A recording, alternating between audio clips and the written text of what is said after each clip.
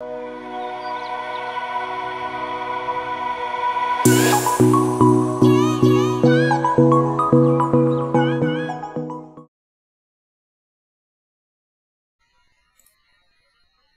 โหลครับ สวัสดีครับหมอครับ พี่เปียกสวัสดีครับ สวัสดีครับหมอครับ ได้ยินนะครับ ชัดเจนครับพี่เปียกโอเคครับ ตลาดโอ้โห ครับพี่เปียก ลงมาเรียกว่าอ่าใจหายใจคว่ำ แต่ว่าในเพจของเรานะครับ ในลูกค้าของเราพี่เปียกออกแนวรับมาให้ ชัดเจนมากวันนี้แล้วก็ครับสิ่งที่เห็นวันนี้ครับพี่เปียกตลาดหุ้นก็ขึ้นมาแล้วทีนี้ นักลงทุนก็ถามว่า เอ๊ะ อย่างนี้จะทำยังไงต่อดี มันเป็นการได้ครับปรับฐานทุกวันนี้ก็ยังเป็นการปรับฐานที่สำคัญคือฝรั่งก็ยังซื้อแบบหนักมือมากครับวันนี้ซื้อไปหกพันกว่าล้านครับพี่เปียกครับครับฝรั่งฝรั่งนี่ผมดูแล้วเขาไม่ขายนะครับดูแล้วครับเรียนเชิญครับพี่เปียกครับ ตลาดแบบนี้ทำไงได้ดีคครัรับบ ครับเชิญนะคครัรับบหมอครับ คือเอ่อในปีนี้นะครับ เรียนอย่างนี้ก่อนนะครับ จะเป็นปีที่ตลาดค่อนข้างจะแกว่งตัวรุนแรงนะครับ เนื่องจากมันมีปัจจัยทั้งในประเทศและนอกประเทศเข้ามานะครับ ครับ เวลาลงมันก็จะลงแรงกำหนดเหตุผลในการเอ่อลงแรงกว่าที่เราคิดนะครับ แนวรับที่เราตั้งไว้บางทีมันจะหลุดพรวดเอ่อแล้วก็ไอแนวต้านที่เราตั้งไว้มันอาจจะทะลุขึ้นไปได้นะครับ แต่สุดท้ายมันจะวิ่งอยู่ในเทรนแนวโน้มที่เราเซตเอาไว้ให้นะครับเหมือนที่ตลาดเซตเอาไว้ครับเหตุผลเพราะว่าโครงสร้างตลาดหุ้นบ้านเราเนี่ยเป็นโครงสร้างตลาดเก็งกำไร เต็มกำลังครับ ครับ มีทั้งตัวเอ่อเอ่อตัว push volume นะครับ ตัวใส่ volume พวก block tradeมีการใช้เทคโนโลยีทาง AI เข้ามาเทรดหุ้นอะไรเงี้ยครับ ครับ มันก็เลยทำให้มันคุณที่มันแกว่งตัวกว่า กว่ากำหนดเช่น พอหลุดแนวรับปั๊บแรงขายมันจะมาตุบๆๆๆเลยนะครับ ทะลุแนวต้านมันก็จะมีแรงซื้อพรวดขึ้นมาเลยเพราะมันใช้ไอ้ไอ้คอมพิวเตอร์ในการเซตเซตระบบครับอันนี้เราเองเนี่ยที่เป็นรายย่อยเนี่ยบางทีเราจะคีย์ไม่ทันในจังหวะเดียวกับเขานะครับ เช่นเราจะขายเนี่ยสมมตินะฮะเขาพอเขาขายก่อนเราจะขายไม่ทันอืมถ้าเขาไล่ซื้อเราก็จะซื้อไม่ทันเพราะฉะนั้นเราจะวิ่งอยู่ในกรอบที่เราเซตไว้เท่านั้นนะครับ ถึงจะได้เงินครับ ครับ อันนี้แนวโน้มเซตให้ก่อนนะครับ เดี๋ยวผมขออนุญาตแชร์ครับสไลด์นิดนึงคนะรับเรียนเชิญเลยครับพี่เปียก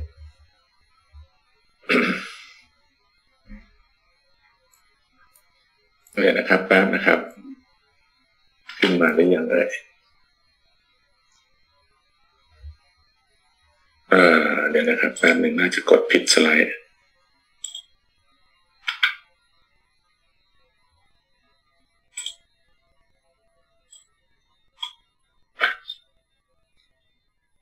ไม่รู้ขึ้นมายังครับเนี่ยครับ เห็นแล้วครับพี่เปียกครับ อ่าฮะครับครับก็เลยเรากำลังอยู่ในตลาดไซด์เวย์ครับ ครับ เราเราเวลาเราเล่นหุ้นเนี่ยเราต้องเราต้องเห็นแนวโน้มก่อนนะครับ แล้วถึงจะมาวางกลยุทธ์ไอตัวที่จะเห็นแนวโน้มหรือไม่เห็นแนวโน้มเนี่ย เราใช้กราฟช่วยดูซิว่าไอ้จริงๆแนวโน้มมันคืออะไรกันแน่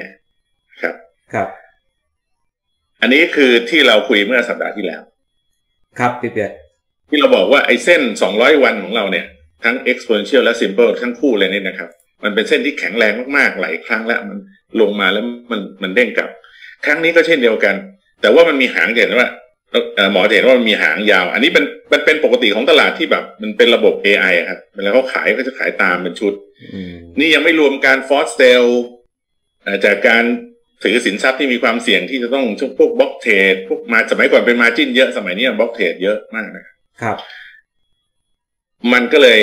แต่จริงๆแล้วสุดท้ายมันก็รับได้ มันก็บอกเส้นของเส้นสองร้อยวันเนี่ยรับได้อืมรับได้เนี่ยปัญหาก็คือตอนเนี้ย มันก็จะไปชนเส้นสีม่วง กับสีส้มตรงนี้นะครับ ครับ เนี่ยครับ มันก็จะมาชนเหมือนเหมือนวันเนี้ยนี่นี่เป็นเซตตอนบ่ายนะครับ ครับเออตอนบ่ายๆเนี่ย มันก็มาชนเส้นตรงเนี้ยไอ้นี่ข้างล่างคือแนวรับครับเส้น200วันครับ ทั้ง exponential และ simple ข้างบนเส้น exponential simple ของเส้น 50 วันจะเป็นแนวต้าน วิธีการเล่นก็คือซื้อที่แนวรับ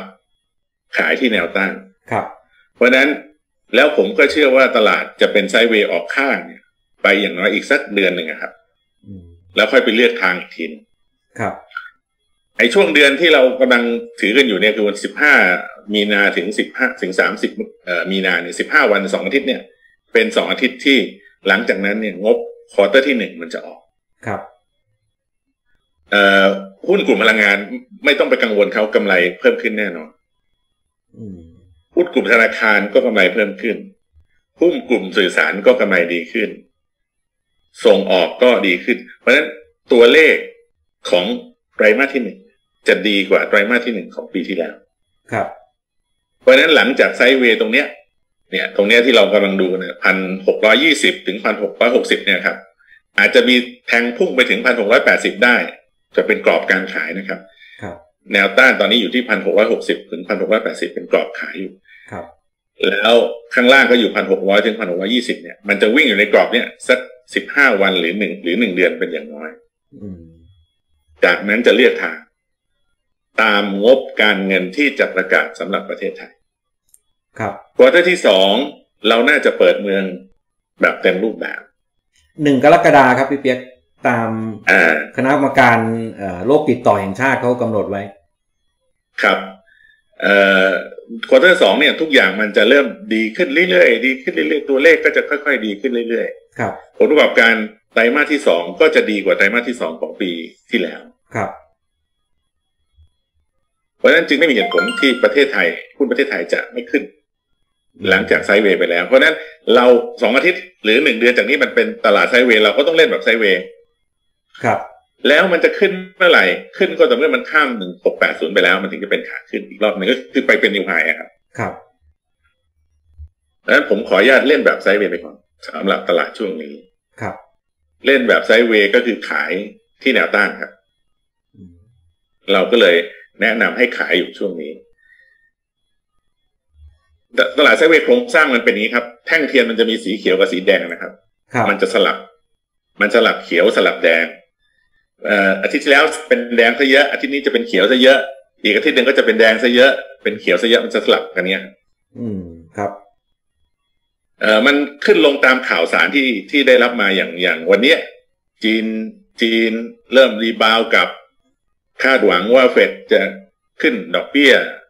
สักหนึ่งศูนย์จุดสองห้าอะไรเงี้ยครับครับไอ้ทุกอย่างถ้ามันพลิกกลับเนี่ยมันแท่งก็จะเป็นสีแดงอืมหุ้นปันผลอยู่ในพอร์ตได้ เพราะว่ามันบางตัวยังไม่จ่ายปันผลก็ให้ถือข้ามไปถึงปันผลเลย ข้ามรับปันผลไปเลย ครับ เพราะเรามอง quarter ที่สอง quarter ที่สาม quarter ที่สี่เนี่ยดีอยู่แล้ว ครับหุ้นเล่นรอบที่เราเก็บมาจากข้างล่าง ก็สามารถอยู่ในพอร์ตได้หุ้นเก็งกำไรเท่านั้น ที่จะสามารถหมุนไปหมุนมาในตลาดแบบนี้อืมถ้าพอร์ตเราเราเนี่ยบอกเราพี่นักเก่งกำไรเราอะเป็นคนที่เล่นปันผลกับเล่นรอบ แล้วเราก็ซื้อในจังหวะที่ที่เราเอ่อที่ผมให้แนวรับไว้ เมื่อเมื่ออาทิตย์ที่แล้วเรียบร้อยแล้วก็ไม่ต้องทำอะไร ครับ ยกเว้นว่า คุณไม่ใช่คนเล่นปันผลกับเล่นรอบของจริง คุณเป็นนักเก็งกำไรปลอมตัวมา ครับ อันเนี้ย คุณต้องขายที่แนวรับ มีเยอะแล้วพี่เปี๊ยกคุณเออคุณคุณต้องชั่งใจดีๆ คุณต้องชั่งใจว่าจริงๆอะคุณอะไรแน่คุณคุณจะเอากำไรไว้ก่อนไหมสามเปอร์เซ็นต์ห้าเปอร์เซ็นต์เนี่ยเอาไว้ก่อนไหมเพราะว่าเดี๋ยวลงมาแล้วคุณเครียดคุณต้อง stop loss วิธีการดูว่าตัวเองเป็นนักเก็งกำไรหรือนักเล่นรอบก็คือไอ้ที่มันลงหลุดพันหกไปอะครับหมอ ครับลงไปที่พันห้าร้อยแปดสิบเนี่ย ตัดสินใจอะไรไปอืมถ้าตัดสินใจคัดลอสบางตัว ถือบางตัวคัดลอสบางตัวแปลว่า คุณเป็นนักเก็งกำไรมันตอบในคำถามเลยว่าคุณเป็นนักเก็งกำไรอืมถ้าคุณเป็นนักเก็งกำไรผมแนะนำให้คุณขายตรงแนวต้านพันหกร้อยหกสิบถึงพันหกร้อยแปดสิบเนี่ย ครับ แต่ถ้าเป็นคุณถ้าเราบอกว่าการเก็งกำไรเล่นได้ไหมบอกเล่นได้ แต่คุณต้องเลือกหุ้นที่แข็งกว่าตลาด มาเล่นอืมสำหรับคนที่มีประสบการณ์ไม่เยอะ ไม่เกินห้าปีเนี่ย เล่นหุ้นที่แข็งกว่าตลาดไปเลย เลือกตัวนำอย่าเลือกตัวตามเป็นอันขาดเล่น KCE อย่าไปซื้อฮาน่าเห็น KCE ขึ้นจะไปซื้อฮาน่าเล่นไม่ได้ ในตลาดแบบนี้ครับ เลือกตัวที่แข็งกว่าเท่านั้น ถ้ามีประสบการณ์ในการเก็งกำไรมากกว่าห้าปีแล้วสามารถไปเอาหุ้นจากข้างล่างมาเล่นเก็งกำไรได้อืมน้ำหนักพอร์ตที่ดีที่สุดในตลาด sideway ก็คือเงินสดห้าสิบหุ้นห้าสิบเวลาหุ้นตกมา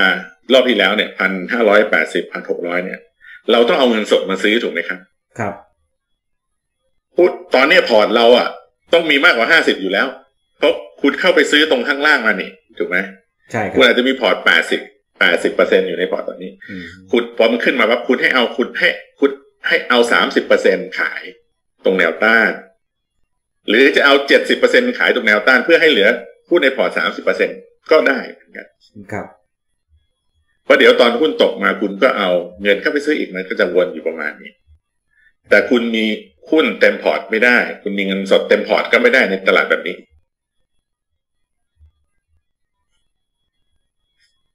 หุ้นแข็งกว่าตลาดที่ผมจะพูดนักเก็งกำไรแล้วนะครับ เพราะว่าเมื่อกี้ถ้าเป็นคนปันผลหรือเล่นรอบเนี่ย จริง ๆ ถ้าไม่ไม่ทำอะไรก็ทำได้ครับไม่ได้มีอะไร เพราะเรามองยาวดีอยู่แล้วอย่างปตท.สผ. ครับ ครับปตสพวันเนี้ยเอาวันนี้เลยก็ได้ครับ วันเนี้ยราคาน้ำมันมันลงมาเยอะ ครับเพราะฉะนั้นเช้าเนี่ยปตสพเปิดลงเลยนะครับร้อยสี่สองอะอืม เผอิญหุ้นแข็งกว่าตลาดก็คือหุ้นที่สามารถยืนอยู่บนเส้นห้าสิบวัน แบบ exponential และ simple ได้ครับ ก็ซื้อต้องซื้อครับ ต้องซื้อหุ้นที่แข็งกว่าตลาดอืมขึ้นร้อยสี่สองถามว่าเฮ้ยเราร้อยสี่ห้าจะขายไหม อันนี้คุณนั่งคิดเอาแล้วกันว่าคุณคิดว่าน้ำมันเนี่ยมันจะดีดกลับมาได้ไหมถ้าคุณบอกว่าน้ำมันน่าจะดีดกลับได้พอไปดูกราฟน้ำมัน ดูกราฟ ที่หมอส่งให้ทุกเช้าก็ได้นะ ดูกราฟน้ำมันเฮ้ยมันก็ต่ำมากแล้วนะ ลงมาทดสอบเส้นห้าสิบวันแล้วนะครับมันน่าจะเด้งได้เพราะฉะนั้นคุณก็รอก็รอไปขายพรุ่งนี้อืมอันนี้เป็นวิธีการเล่นนะครับ เลือกหุ้นที่แข็งกว่าตลาด เล่นในจังหวะที่มัน มันมันมีข่าวไม่ดีอะครับ แล้วมันกระแทกลงมาครับเคแบงเคแบงนี่เราซื้อไว้ตั้งแต่เมื่อวันอาทิตย์ที่แล้ว เป็นเป็นตัวที่พี่เปียกแนะนำเก่งกำไรฮะเคแบง ใช่มีสองตัวตรงเนี้ยถามว่า ถามว่าร้อยซื้อร้อยห้าสิบสามห้าสิบสี่ห้าสิบสองห้าสิบสามห้าสิบสี่มาเนี่ย หรือห้าห้ามาเนี่ยร้อยหกสิบเอ็ดห้าสิบเนี่ย จะขายไหมอืมผมแนะนำให้ขาย เพราะว่าเราอยู่บนแนวต้านหนึ่งหกหกศูนย์หนึ่งหกแปดศูนย์ครับ โอเคนะครับทิสโก้ อันนี้เป็นหุ้นปันผล ตัวเนี้ยไม่ได้ลงมาให้ผมซื้อ มันมันลงไม่ไม่หลุดเส้น แต่ว่ามันเป็นหุ้นที่อยู่เหนือเส้นห้าสิบวัน ก็ถือว่าเป็นหุ้นที่แข็งกว่าตลาด หุ้นที่เราเก็งกำไรได้มีหุ้นประเภทเดียวคือแข็งกว่าตลาด ก็คือราคายืนอยู่บนเส้นห้าสิบวันทิสโก้ก็เป็นตัวหนึ่งที่ยืนอยู่บนเส้นห้าสิบวัน แล้วมันจะจ่ายปันผลเดือนหน้าด้วย ครับ ถ้าคุณซื้อตอนเนี้ยคุณยังไม่ขายก็ได้ ยกเว้นว่า ยกเว้นว่า เออ เราซื้อไว้เก้าสิบเก้าสิบเจ็ดบาท ตอนนี้มันเก้าสิบเก้าบาท ได้แค่สองบาทเองยังไม่ขายก็ได้ อันนี้นั่งคิดไป แต่ถ้ามันขึ้นมาร้อยสองบาท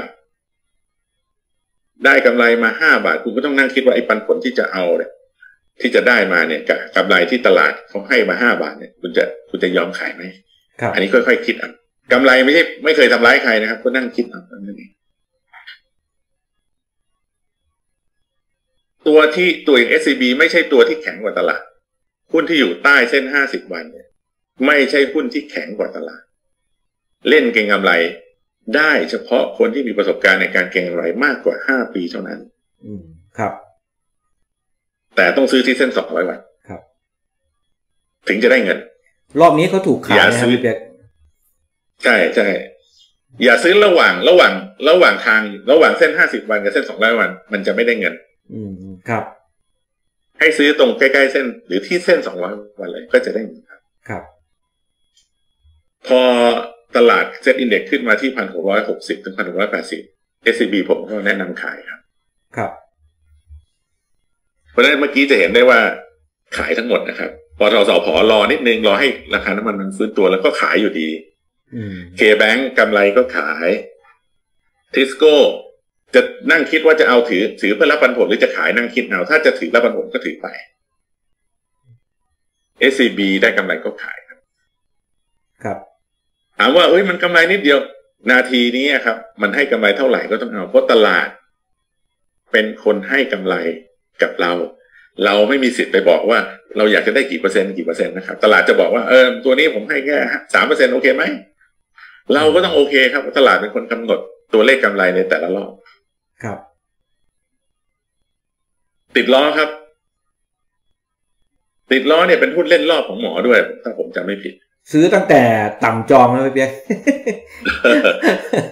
ถ้าเราถ้าเราเล่นรอบมาแล้วเราเก็บไปเล่นลงมาก็เก็บลงมาก็เก็บจนเต็มพอสมควรแล้ว ถึงตรงเนี้ย ไม่ขายก็ได้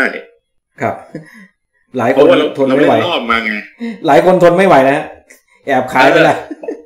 เออเพราะเราอะ เป็นนักเก็งอะไรแฝงตัวมาอืม ครับ เอาเป็นว่าถ้าเป็นนักเก็งอะไรก็ขายไปได้ถูกแล้ว แต่ถ้าเป็นคนเล่นรอบจริงๆเนี่ยผมยังคิดว่าถือได้ ติดล้อเป็นหุ้น lead เวลาเราดูในการเก็งกำไรในตลาด sideway นะให้ดูเป็น sector ครับ ครับจะช่วยได้ MTC เนี่ยไม่เล่น สวัสดิ์เนี่ยไม่เล่น ไม่เล่นเก็งกำไรนะครับหมอ ไม่เล่นเก็งกำไรสามแต่สามารถเก็งกำไรบนติดล้อได้อืมจะเห็นได้ว่าติดล้อเนี่ย เวลามันมีแรงแท่งแดงๆลงมาเนี่ยครับ ลงมาสี่สิบบาทเนี่ยเมื่อวานเนี่ย ครับซื้อได้ซื้อได้ เพราะว่ามันเป็นหุ้นที่แข็งกว่าตลาด มันอยู่บนเส้นห้าสิบวันอยู่ แต่ไอ้สองสองตัวเนี้ย MTC กับสวัสด์อะซื้อเก่งกำไรไม่ได้ แล้วเราจะซื้อเพื่อเล่นรอบได้ไหม เล่นได้อืม เก็บได้ครับ เก็บได้ แล้วแล้วเราจะซื้อแบบซื้อห้าห้าเนี่ย ตรงไอ้โลมันเนี่ย สวัสด์นะครับ ไปขายสักห้าสิบแปดได้ไหมเอาสักสามบาทได้ไหมได้แต่คุณต้องมีประสบการณ์ในการเทรดเก่งกำไรมาห้าปีขึ้นไป คุณถึงจะทำเกมนี้ได้ เพราะว่าถ้าคุณไม่มีประสบการณ์ในการเล่นเก่งใบมาห้าปีคุณจะลน เวลาเกิดข่าวลบ ข้างนอกมาเนี่ย คุณก็จะสต็อปลอทิ้ง ซึ่งมันไม่มีประโยชน์อะไร ครับ พอร์ตที่ stop loss ตลอดเวลาเนี่ย มันไม่มีทางโตอยู่แล้ว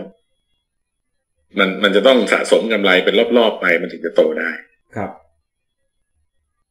เล่นหุ้นต้องทำบัญชีอันนี้ฝากเตือนนิดนึงนะครับ ห้ามเติมเงินด้วยนะครับทำบัญชีแล้วห้ามเติมเงิน ถ้าเล่นใน cash balance ได้ก็ดีครับดูไปเลยว่า แต่ละเดือนแต่ละสามเดือนหกเดือน แต่ละปีเราได้เงินไหม ถ้าเราได้ก็แปลว่าเราชนะตลาดก็เพิ่มเงินได้ ถ้าเรายังไม่ได้มาได้กำไรเลยยังเท่าทุนหรือยังขาดทุนอยู่เลยเนี่ย คุณห้ามเติมเงิน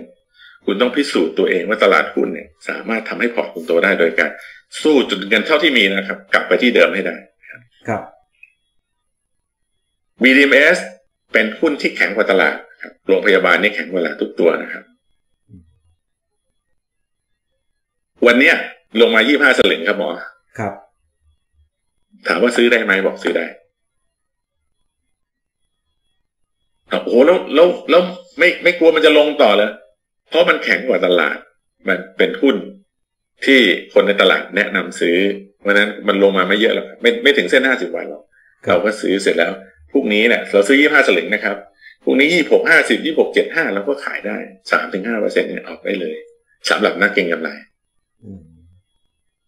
ถามว่าเอ๊ะแล้วจะถือยาวได้ไหมเป็นรอบได้ไหมเป็นรอบเนี่ยมันต้องมาจากยี่สิบสองยี่สามถูกไหมครับ ครับเออมันถึงจะเล่นรอบไอ้ตรงนี้มันเป็นเล่นเก็งกำไรแล้ว BH ก็เล่นเก็งกำไรได้นะครับร้อยหกหกร้อยหกห้าเนี่ย ซื้อเก็งกำไรได้ แข็งกว่าตลาด BCH เนี่ย เป็นหุ้นเล่นรอบนะครับ มาจากข้างล่างนะครับ CHG ก็เป็นหุ้นเล่นรอบ ไอ้หุ้นเล่นรอบเนี่ย ถ้ามันข้ามเส้น200วันมาได้ เราก็สามารถเลือกมาเล่นเก็งกำไรได้ เพราะนั้นกลุ่มในตลาดไซด์เวย์แบบนี้นะครับหุ้นที่ทะลุเส้น200วันมันมาก็เล่นเก็งกำไรได้หุ้นที่เป็นตัวนำตลาดแข็งแรงเหมือนเอ่อ BDMs BH ก็เล่นเก็งกำไรได้ แต่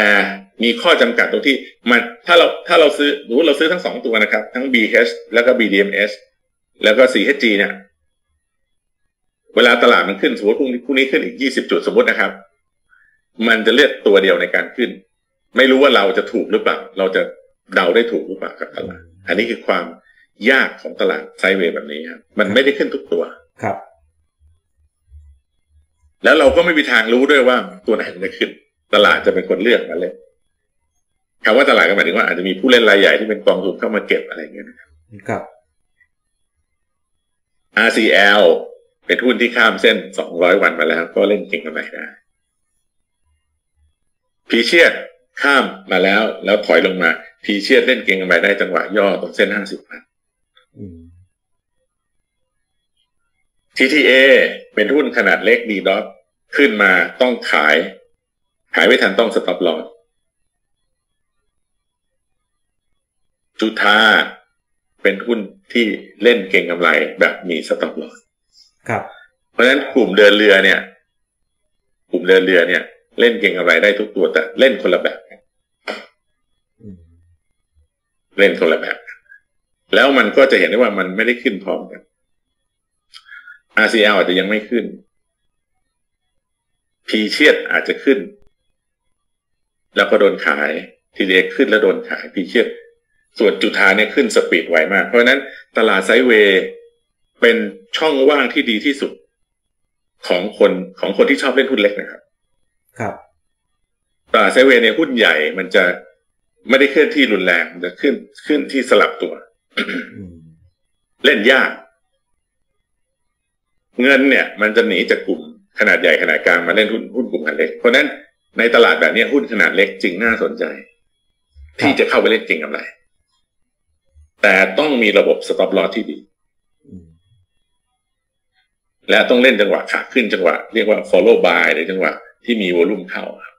ครับ อย่างอย่างจุฑาเนี่ย เราเล่นจังหวะย่อไม่ได้ ย่อมาแล้วซื้อไม่ได้จะเสียหายครับอาปิโกไฮเทคหุ้นในกลุ่มยานยนต์นะครับ ข้ามเส้นห้าสิบวันมา แบบนี้เล่นได้ เราเห็นอาปิโกไฮเทคขึ้นมา เราจะไปเล่น SAT ซึ่งอยู่ใต้เส้น 200 วัน อย่าทำแบบนี้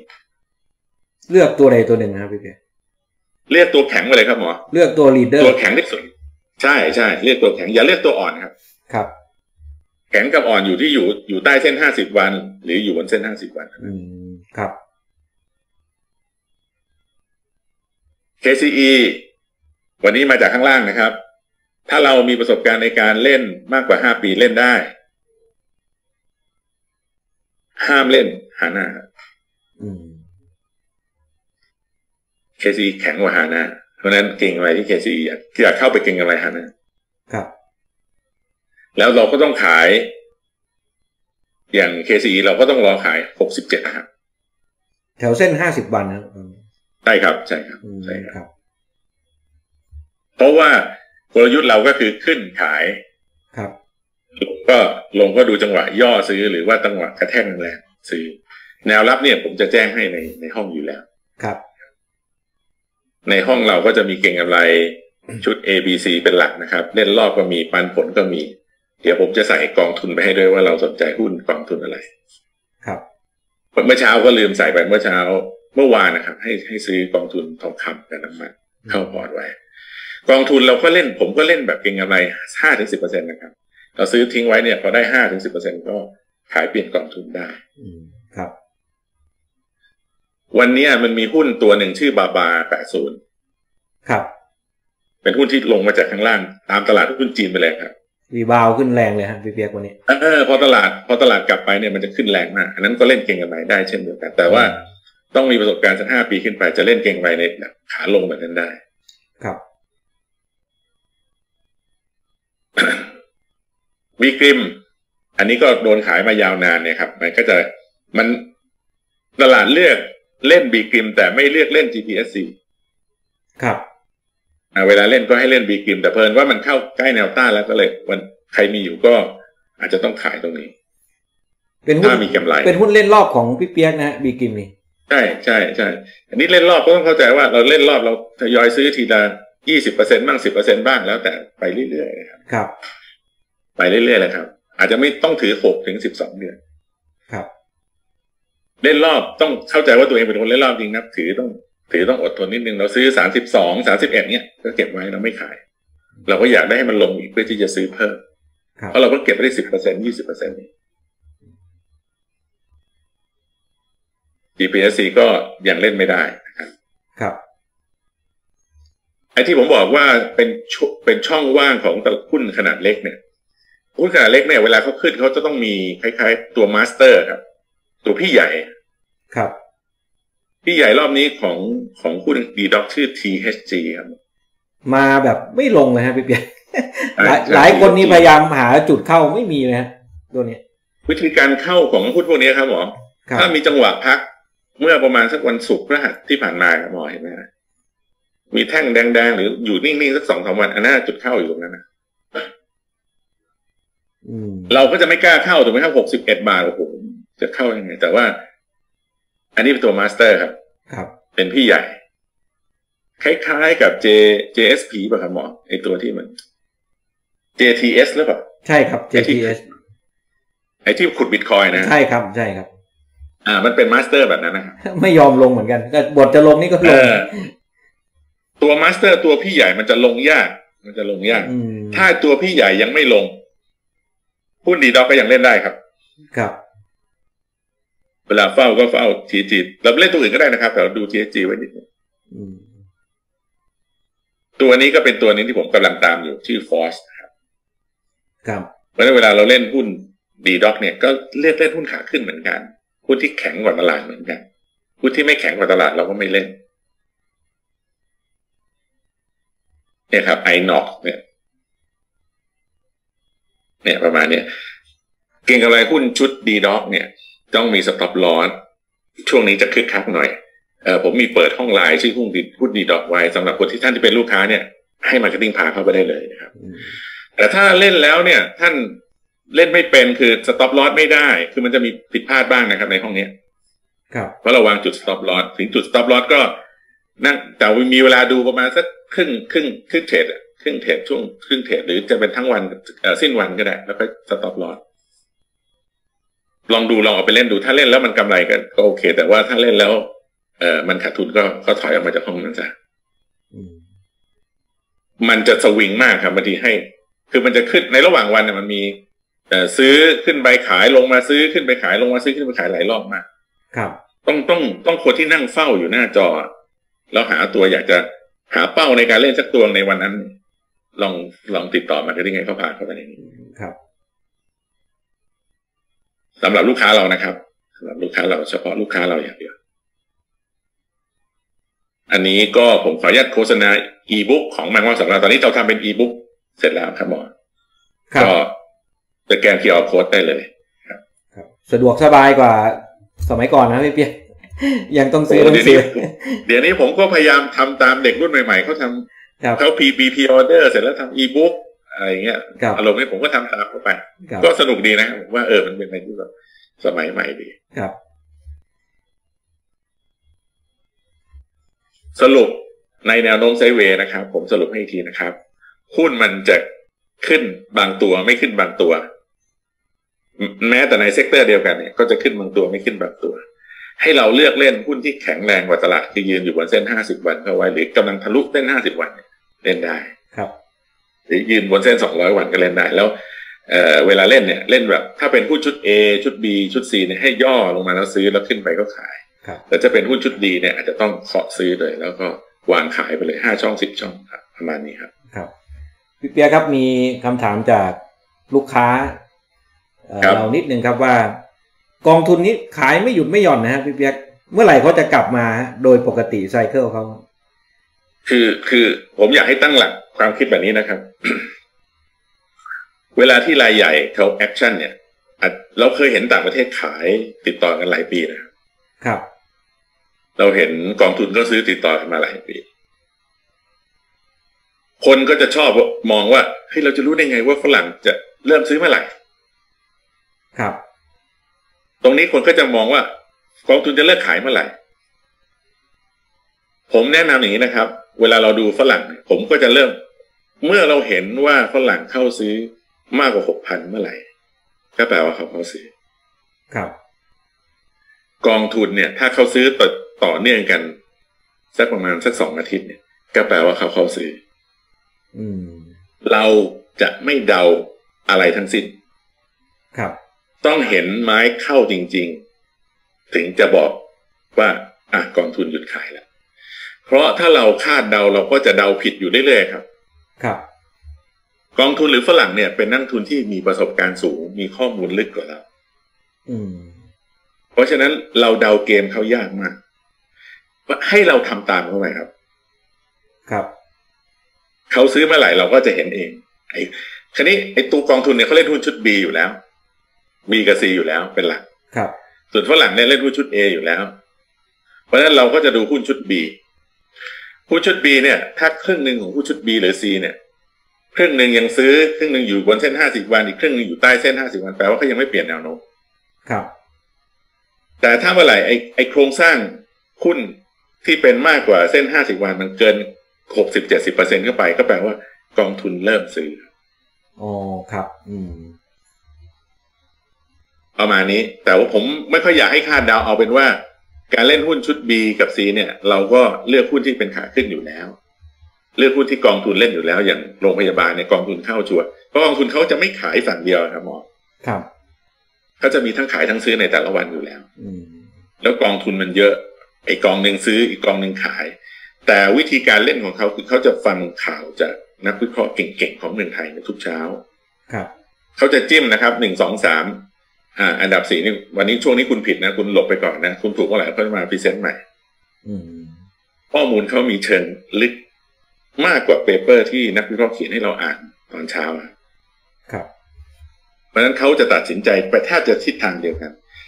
ถ้านักวิเคราะห์เขียนให้ซื้อโรงพยาบาลกรุงเทพเนี่ยผมเอาตัวอย่างล่าสุดเลยนะครับครับบางประเทศก็ลงยากครับ อืมลงยาก เอ่อผมยกตัวอย่าง จริง ๆ เนี่ยอืมเราก็มีข้อมูล แต่ว่าเราเอาเปิดเผยไม่ได้เท่านั้นเองนะครับ แล้วก็เราก็มีเขียนให้ลูกค้าไอ้ยเขียนให้ให้ให้ภายในเรา ผมยกตัวอย่างล่าสุดนี้นะครับ ที่อ่านเมื่อเช้าเนี่ย ครับเขาให้ทยอยเก็บ SCGP อืม ครับ พอเราได้ข้อมูลบอกว่า เขาให้เหตุผลว่า เอ่อพอจีล็อกดาวน์เนี่ย มันน่าจะยาวกว่าที่ที่ที่หลายๆมันอาจจะหลายเดือน ครับ เพราะฉะนั้นราคาต้นทุนวัตถุดิบของผู้ผลิตของ SCGP จะลดลงอืมเขาก็เลยบอกว่าไอ้ตัวเนี้ยน่าสนใจ อันนี้พอเราได้ตัวมาปั๊บเนี่ย เราก็มาดูกราฟก่อน ว่ามันอยู่ตรงไหน ใช้เส้นห้าสิบวันกับสองร้อยวันเมื่อกี้ที่เราเซตให้ดูเนี่ยครับครับถ้ามันอยู่มันหลุดเส้นห้าสิบวันมา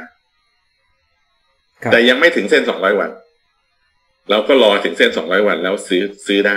เก่งอะไรได้อืมเพราะว่าผู้ตัวเนี้ยกองทุนเริ่มสนใจ ครับ แต่ถ้ามันอยู่ใต้เส้นสองร้อยวัน เราจะไม่เล่น